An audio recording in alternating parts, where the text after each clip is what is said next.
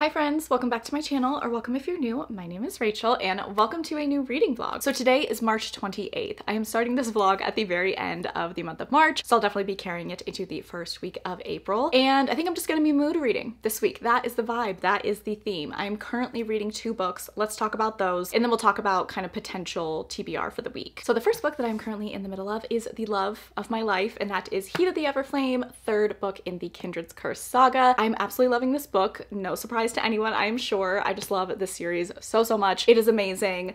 Third book in the series has been wonderful. Oh my god, so many things have happened. I cried. You guys, I did not expect that. There's not been anything in the first two books that has made me cry. Like, there's been sad moments, and I've just been like, eh, like, feel for you, but let's keep it moving. Fully cried. Fully couldn't see the words on the page anymore at something that happened in this book. Oh my god. I was moved. I love Penn writing, honestly. Needless to say, having a really good time with this. I have less than 300 pages left. This book is just super long. It's just taken me a bit of time to get through, but I am still thoroughly enjoying it. I'm reading it on my Kindle just because this is so heavy, and it's over a thousand pages on the Kindle. So it's taken me a little bit of time to get through it, but I'm really enjoying myself. Cannot believe the final book is coming out in June. Makes me really happy because I can't wait to read it, but also I'm so sad that I'm gonna be leaving these characters, but I will keep you guys updated on how this is going. I definitely want to prioritize this this week and get this finished. And then I started a second book this morning, and that is A Dawn of Onyx by Kate Golden. So this is a reread for me. I read the indie version of A Dawn of Onyx I want to say like over a year ago. It feels like it has been so long since I read this, but since I read this, it got picked up by a traditional publisher. We have a new cover, we have a little bit of editing and formatting. So I wanted to read the traditionally published version before the sequel comes out in April. I realized while I was filming my April TBR that the sequel is coming out in April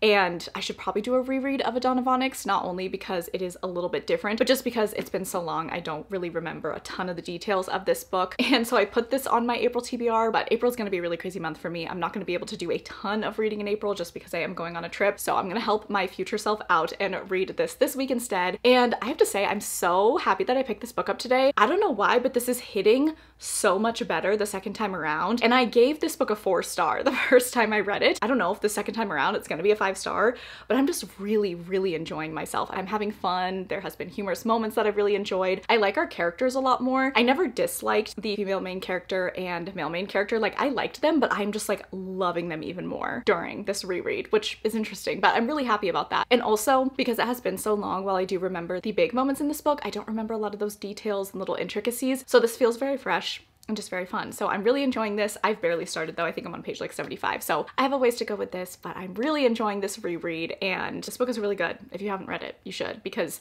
I really liked it the first time around and apparently the second time around, I'm like absolutely loving it so much more. So going to continue reading this and then I am also going to continue making my way through Heat of the Everflame and then I think I want to start Binding 13 by Chloe Walsh, which is a contemporary romance and it's a super popular series. I'm sure you guys have heard of it if you are into contemporary romance. I've I've seen so many wonderful things about it and for some reason that book has been on my mind. I don't know what happened, but one day I woke up and I was like, I need to read Binding 13. So potentially Binding 13 this weekend. I'm also thinking about reading How Does It Feel by Jeneane O'Riley, which is a recently re-released darker fantasy romance, and Kingdom of Ash is always looming in the background. Need to finish my Throne of Glass reread, so that's a potential too. Maybe the next book in the Lady of Darkness series, maybe City of Lost Souls by Cassandra Clare. I just want to read it all. So we will see what I end up reading this week, but very, very excited about this week's vlog. Oh, I also did do a bit of retail therapy. Work has just been really insane lately. My brain is melting, and so I did decide to do a little bit of retail therapy. Bought myself some books, so I'll definitely be doing some type of unboxing this week once they all get here, and I'm excited to show you guys that. Other than that, life stuff. Oh,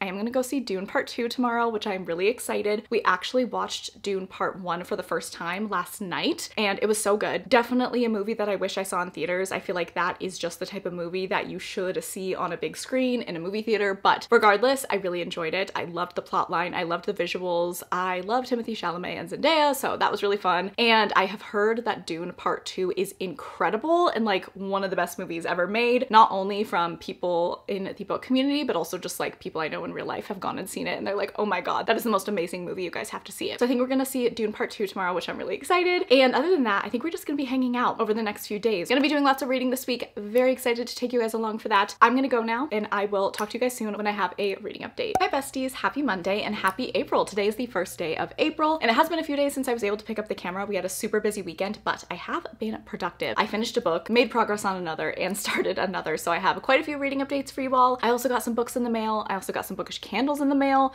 So we have a few things to go over, which I'm really looking forward to. Oh, also did want to discuss Dune Part 2 because we did go and see that and it was so, so good. Oh my god, I haven't read the book, so I don't know if it was a faithful adaptation, but I have seen a lot of people who have read the book really praising it, so I'm going to assume that it was for the most part. But I just loved it. It was so good. It was so beautifully shot. It was amazing. All of the actors were incredible. Austin Butler, Feyd is a terrifying character, but I loved him. Like, I could not keep my eyes off of him when he was on screen. I really feel like he stole the show. He did such an amazing job. What a nightmare demon of a character, but I was so here for it at the same time. I, okay, can I just go on a weird little side tangent. I hope some people can relate to this. I remember Austin Butler being on Zoey 101. I also feel like he might have been on Hannah Montana as well, but he was definitely on Zoey 101 and he played Zoey's boyfriend for like a little three episode arc or something like that. I cannot believe that that actor became what Austin Butler is today. Like in Elvis, nominated for an Oscar, in Dune Part 2 as this terrifying, amazingly acted character. Like, he has just transformed so much, and it's just so wild that I'm like, you were on Zoey 101, and now you're like this actor. I don't know, but that just like blows my mind that I'm like, wow, look at where you started. Look at where you are now. I guess I'm proud. I guess I'm proud because I have been rocking with him since the Nickelodeon and Disney Channel days. And it's just amazing how his career has changed. And like Feyd is a character that is going to stick with me for a while. The whole time while I was watching him, I was just thinking,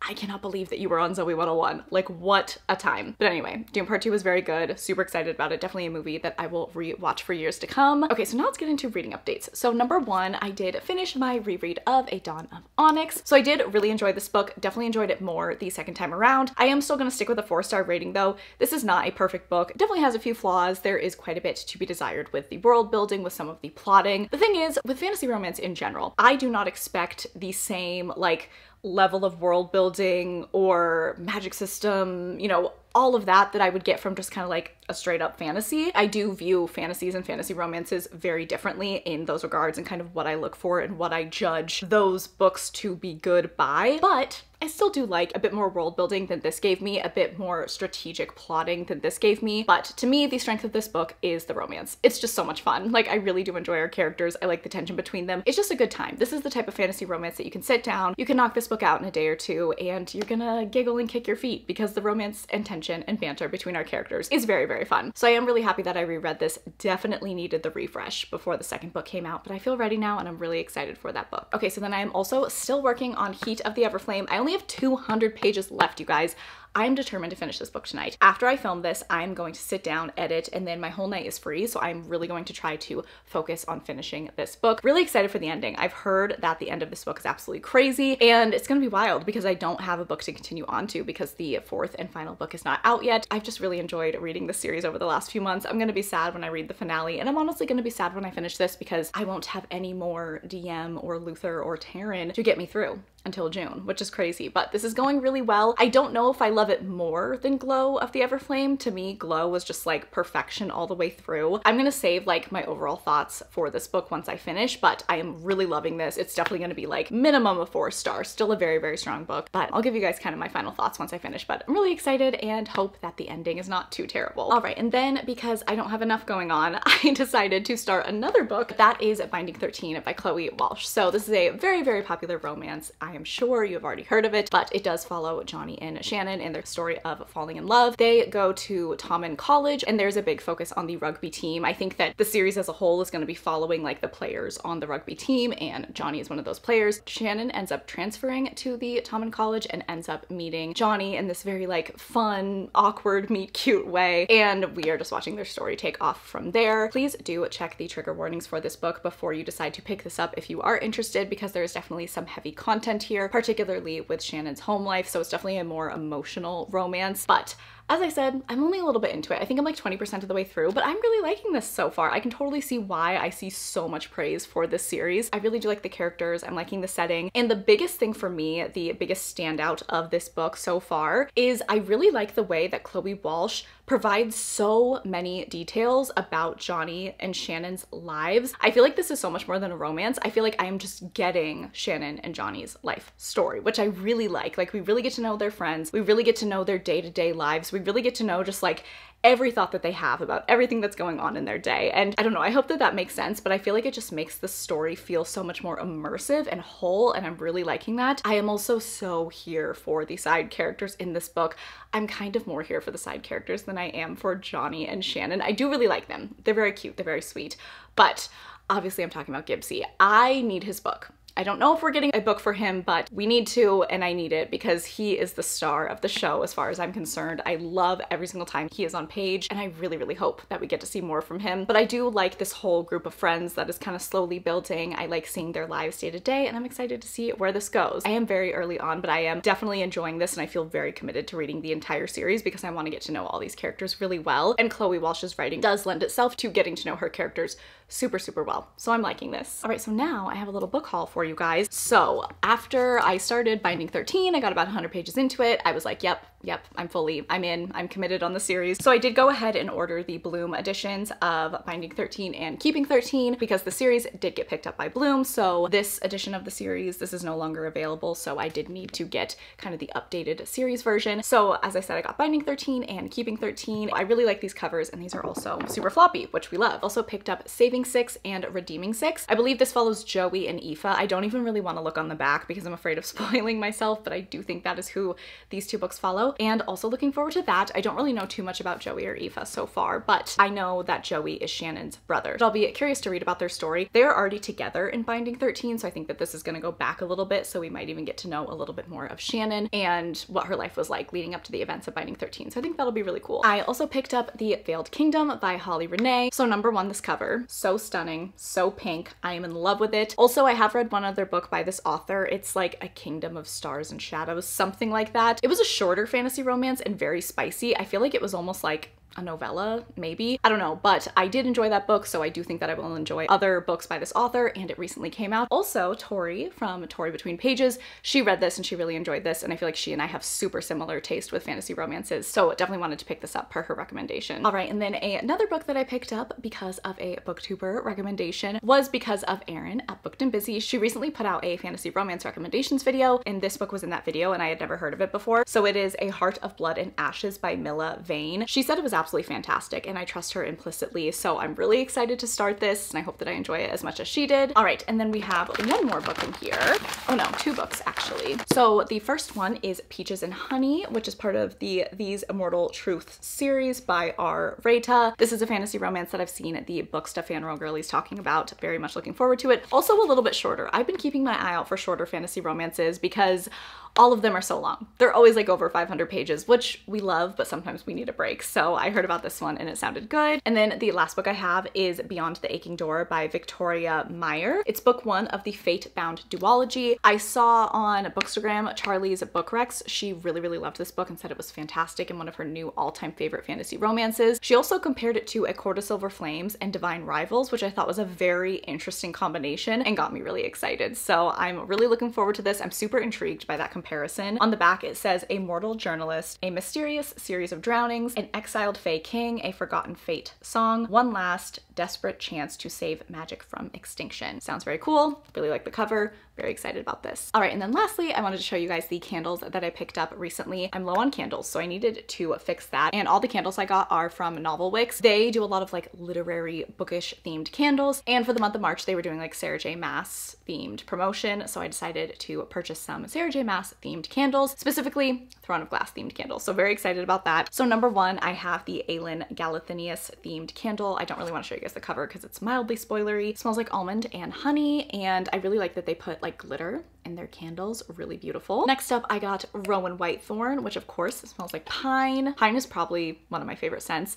And Rowan is a top three Sarah J Maas male main character for me, so I had to get this. This one is kind of like bluish green, sparkly on the inside. Then I got To Whatever End. Once again, I'm not gonna show you guys the front, but it smells like sandalwood, patchouli, and musk, and really beautiful and vibrant. And then lastly, I got Manon, and it is caramel apple scented.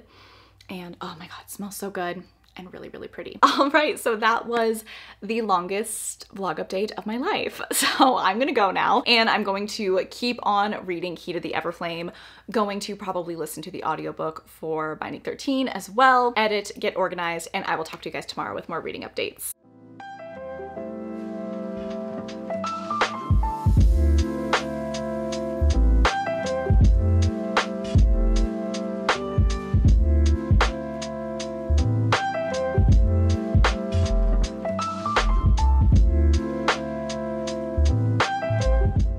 Hello, my loves. How are we? So it is time for another reading check-in. I have very exciting news. I finally finished Heat of the Everflame by Penn Cole and oh my god, holy cliffhanger. I am not okay because this is the first time that I have finished a book in this series and I do not have another book to go on to. I need that finale like I need air. I cannot believe I have like two full months to wait until we find out the fate of all of our characters and how the story is going to wrap up. But I am so, so excited for it, honestly. I just feel like it's going to be such an amazing finale. I feel like this book set up a lot of crazy things, a lot of very intense plot lines that need to get tied together. But I think it was a super solid installment and I really, really enjoyed this book. So I think I'm going to rate this book four stars. There were definitely moments that gave me like five star vibes, but then there were also some moments that gave me four star vibes. So I'm gonna go with four star. I did really enjoy this book. I think we did a lot of world building in this book, which was really helpful and I think just developed the story a lot more. We got a lot of revelations that we've been wondering about. We got some character romance development that I really enjoyed, but there were definitely moments where the decision making skills were like negative 10. You know, sometimes our girl Diem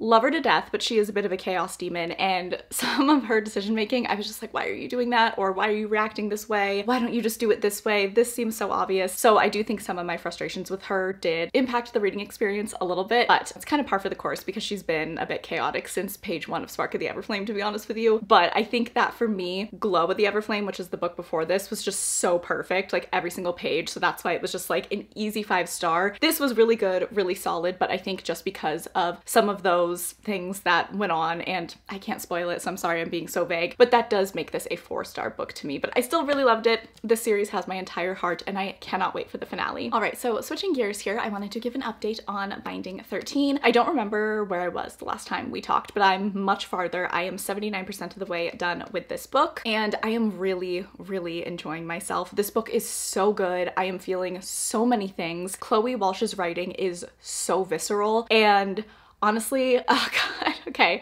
I feel like I'm about to start tearing up and I specifically did not film an update yesterday because every time I tried to talk about this, I started tearing up.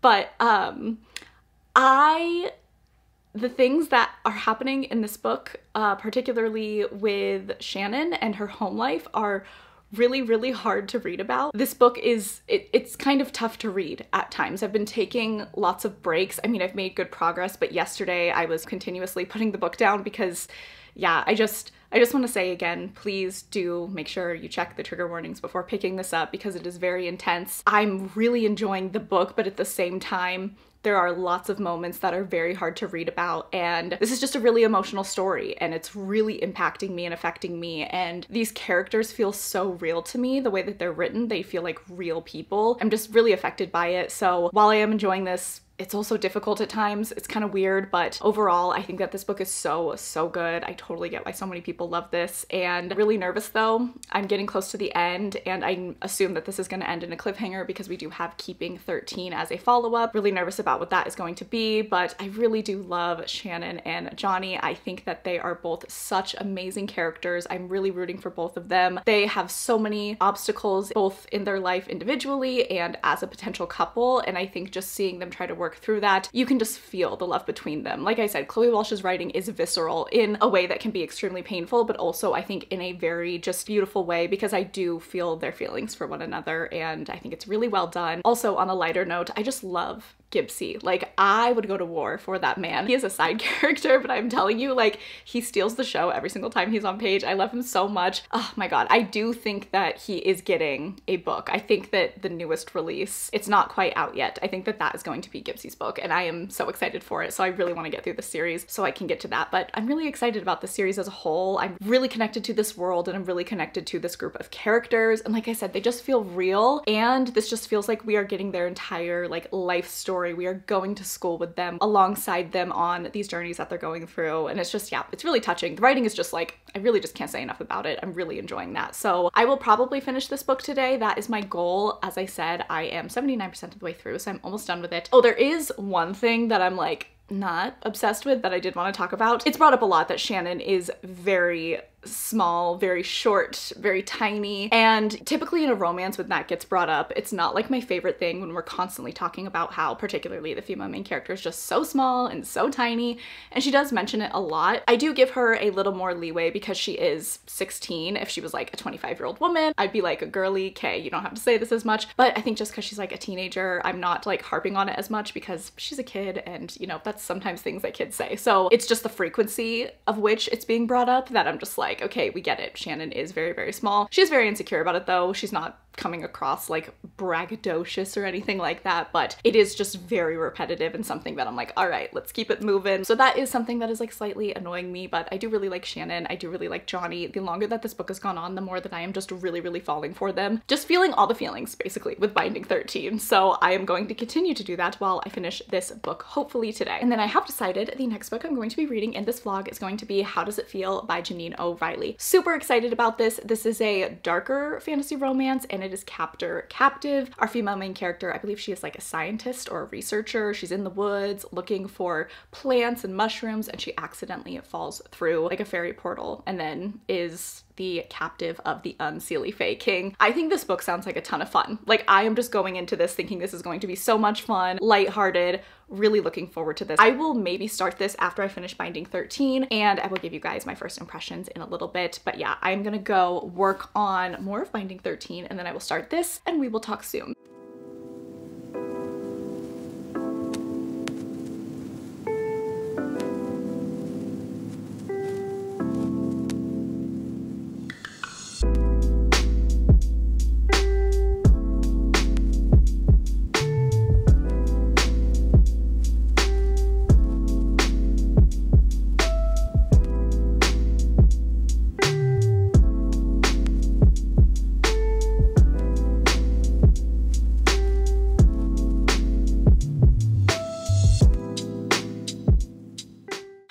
Besties. So it's the next day and I have more reading updates for you. Number one, I did finish Binding 13. So I finished this last night and oh my goodness, I really enjoyed this book, you guys. I liked it so much more than I think I thought I was going to when I went into it, just because me and contemporary romance, we have had an interesting relationship kind of over the last year, I'll say. I haven't had too many all-time favorite contemporary romances hit me, but I definitely think that the Boys of Tommen series is going to be an impactful series for me. I really, really loved Binding 13. I really like Chloe Walsh's writing style. As I've said multiple times already, I just love how detailed the writing is. I love how much I'm getting to know these characters and their friends, and I feel like I'm just watching them live their lives. You know, I'm loving the romance, I'm loving that aspect, but I really love how much Chloe Walsh rounds the story out, and I just feel like I know these characters, they feel so real, and things just feel so visceral. It's just, it's a really, really impactful book, so I really, really loved this. The ending of this book was so incredibly difficult to read, and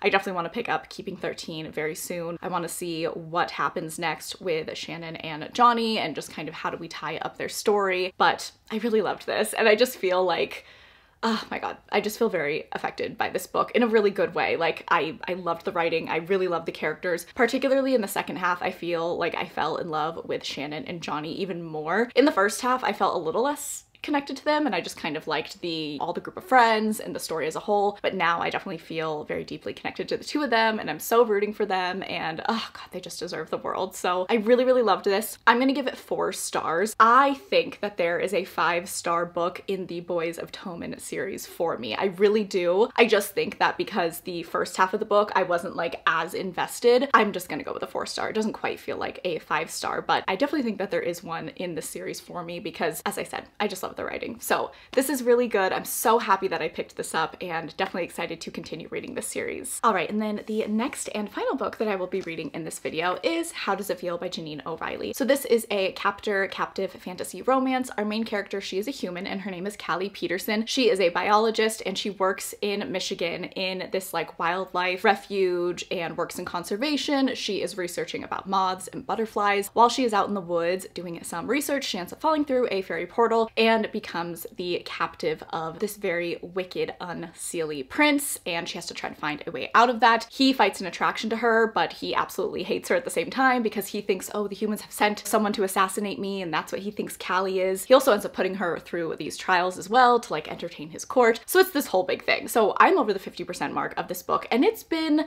an experience. Number one, this book starts out literally like a contemporary rom-com. Like it takes place in our world, in modern day. There's no fantastical elements at all in the first part of the book. So this is definitely like a low fantasy, I guess you could call it. Callie is just, you know, living in the small town, trying to figure her life out. She doesn't have a lot of friends. Then kind of the fantasy elements pick up once she falls to that fairy portal, of course. But that's something that I guess I should have expected from reading the back, but for some reason, I don't know, I, it was just kind of threw me for a loop, but very much modern day rom-com vibes in the beginning. And I think kind of my feelings about this book so far are, it is an entertaining book, for sure. Like, I am I'm, I'm entertained and I, I want to see kind of what happens next, but I don't really like the writing in this book. Dialogue and, you know, Callie's inner monologue, it's just very cheesy. This book can be very over the top at times. Some of the things, like the bog thing, if you've read this book, is so just like it's too much and just I I don't know. It's one of those things where it's like I could tell pretty early on, like, you know, I just, I don't think I'm gonna connect with this writing style just because I think the dialogue is cheesy. Our main character, she was kind of irritating me at times, but I was still invested in the plot enough because I do think the plot is good and like it's an interesting concept. And I was here